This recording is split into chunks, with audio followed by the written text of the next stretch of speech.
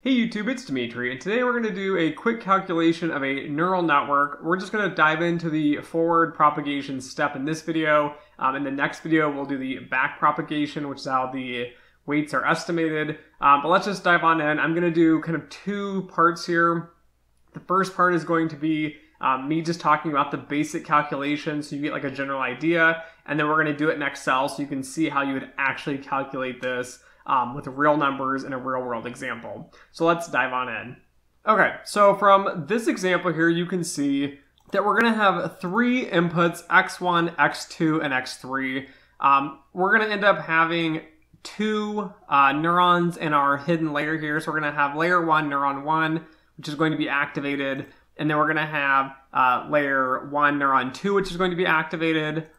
And then finally, we're going to calculate out um, y hat, which is going to be our final prediction here. So in this example today, we're going to do the activation function for the hidden layer is going to be logistic. So um, as I'm going to note here, activation function. Um, so for our hidden layer is going to be equal to logistic. And if you don't remember, um, logistic is just going to be 1 over 1 plus e to the negative x, um, where x is going to be your linear equation. And then you also have to have an output function or an output activation function. And the output activation function we're going to use today is going to be called linear. And all this means realistically is that um, the combination of the neurons, we're just not going to use an activation function. Um, so this basically just means your output y hat is going to be equal to um, y hat. I know mathematically this isn't correct to say y hat equals y hat, but you'll see when we get going in the example how this works. Okay, so when you look at this chart here, um, we're going to have x1, x2, and x3, which are input variables, and we want to calculate out um, L1, N1, so this first neuron in the hidden layer.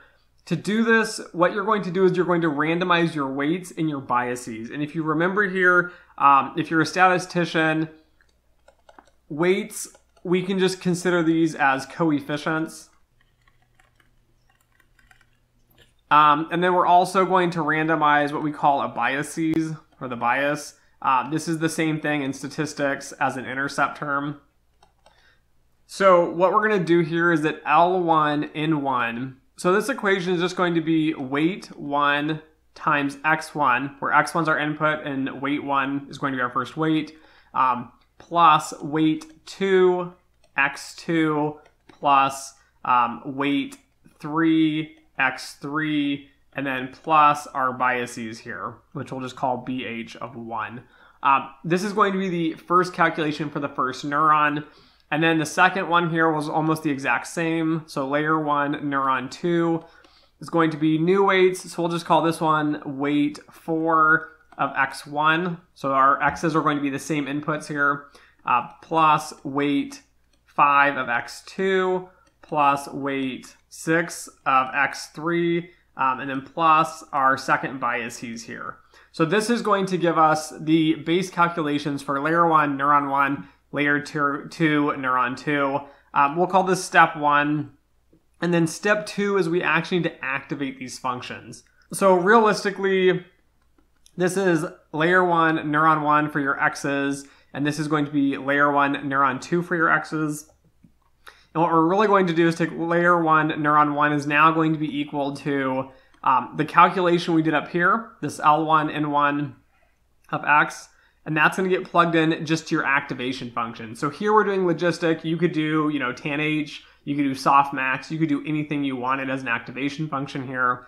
Um, but there's just going to be 1 over 1 plus e to the negative L1 in 1 of x. So what this is going to be equal to is the actual true L1 in 1 is going to be equal to 1 over and then it's going to be uh, 1 plus e to the negative, and then weight 1 x1 plus weight 2 x2 plus weight 3 x3 um, plus your biases 1.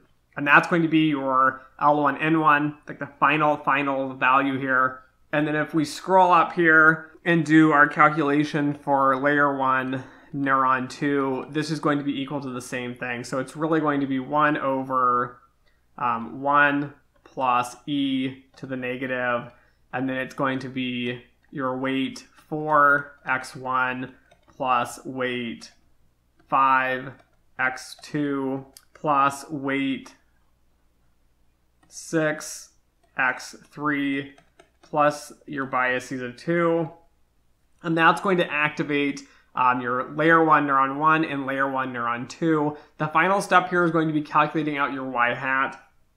So again, you do the exact same process. If you had multiple hidden layers, you'd continue on doing this step. So now to calculate the output layer here, we want to calculate, we're going to call this y hat.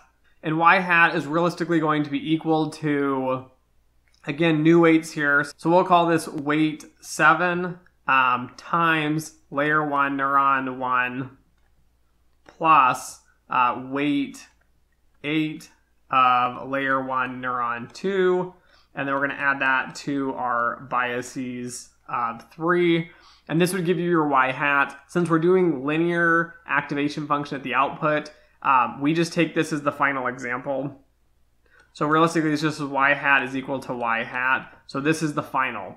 If you wanted to do something different, so for example, if you wanted to continue doing logistic, so logistic um, was going to be your final activation function on the output layer here, um, this would just be simply your y hat, so the actual final one would just be what we did before. So 1 over uh, 1 plus e to the negative, and then it would be uh, weight 7 times L1 in 1 plus uh, weight 8 times L1 in 2, and then plus your biases at 3. So that's it. Super simple math, guys. This is nothing exciting. Uh, forward propagation is going to be the final output here. But let's look at Excel and see how this is actually done. So to give you a little fuller explanation of this here, if you look at our Excel, y here are going to put what we're predicting. So in our case, right, each one of these rows, rows two, three, and four, uh, these are just three observations. In real world, if you had like a hundred or a million observations, you'd have like a hundred or a million rows. Uh, again, you'd only have one column for y. That's what you're outputting. That's what we're trying to predict here. Um, and then x1, 2, and 3, this just means we have three input variables. You could have 20 input variables, you could have 100 input variables, you could have a million input variables, right? It doesn't really matter. Um, but think about this logically, like just one row is what's going through this process once, and then this happens multiple times. So it goes through, each observation has to run through the calculation. Um, we're going to use matrix multiplication though, so it simplifies this, and we're not doing the same calculation, you know, hundreds of thousands of times uh, if you have large data sets. So these are going to be our input variables. This is going to be what we're predicting. Again, if you will see these little numbers here, like 3 by 1, 3 by 3, 3 by 2, um, these just help keep track of the matrix sizes when I'm doing the matrix multiplication to make sure it's done correctly. Um, and then, as we said, WH, these are our weights. So we're going to randomize our weights. And then we're going to randomize our biases. We're going to randomize our weights at output and our biases at output. Um, you have to randomize, you have to do this multiple times. Um, if you want more details, look at other videos I've done. I've talked a little bit more about the theoretical side of why you would do this. Uh, but let's dive on in here. So calculating out um, the hidden layer inputs before the activation function like we did, which was just like the weights times the x's.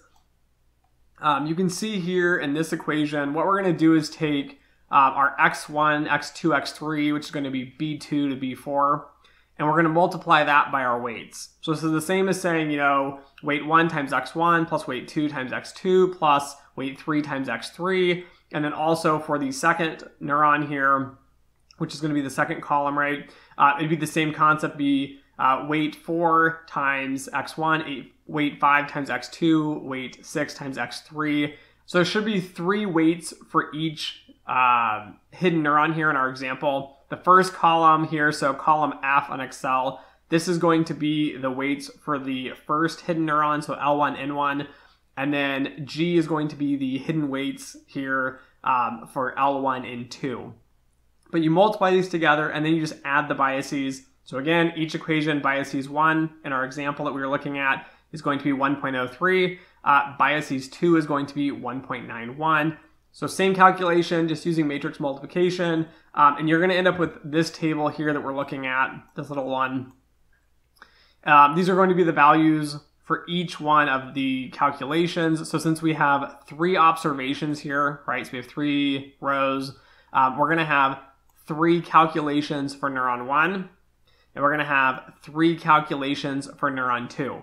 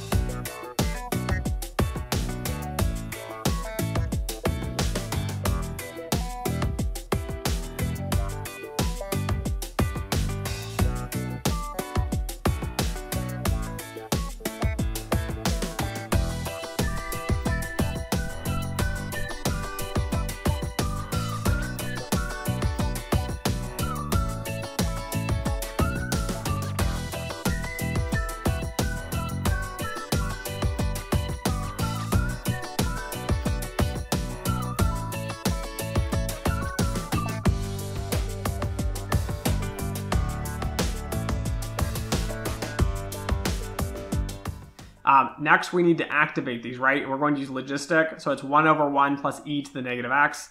Um, if you look at these cells, this is not matrix multiplication. It's 1 over 1 plus e to the negative, and then here's a9. So that's going to be our first one. And then we're going to do the exact same calculation here for all of them. Um, for our first neurons and our second neurons. So we're just activating all of these.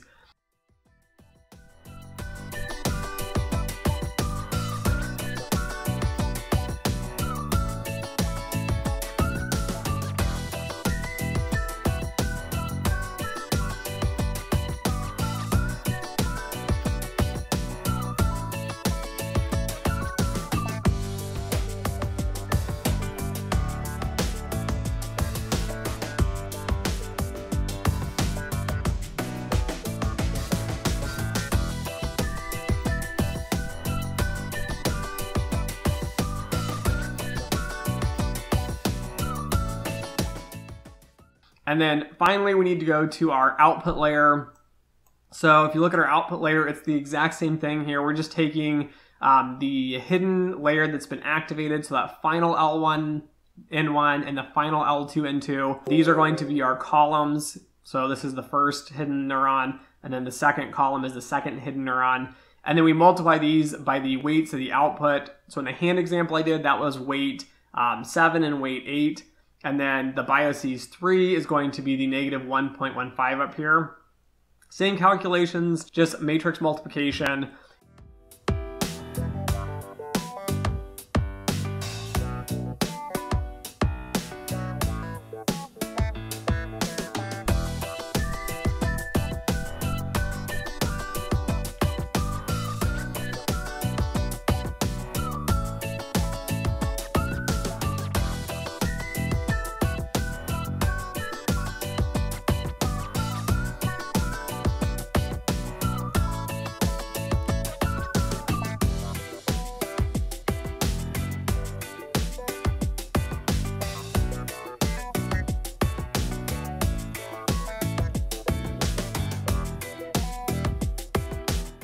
And then, like I mentioned before, if you did linear activation here, you'll see these are just equal to the cell on the left. if you wanted to do, again, like a logistic for the output activation, so something you're modeling has a value between 0 and 1, and you want to force it to be there, you can do that by just doing the same calculation as above. So um, we would just do equals 1 divided by 1 plus um, the exponent of negative, and then you would do um, a, a15 here, and then it would give you a calculation, and you can just drag and drop this Again, I missed a parentheses, but yeah. So that's just simply how you do forward propagation. This is nothing that fancy. I don't want people to be scared and run from neural networks. Um, yes, they do get more complicated. Uh, we're going to do back propagation in the next video, which will be a little more complicated, a little bit more math.